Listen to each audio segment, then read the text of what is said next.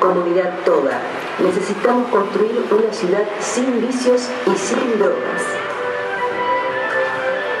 La vida es un reto. Enfrentalo. No te pierdas en el humo.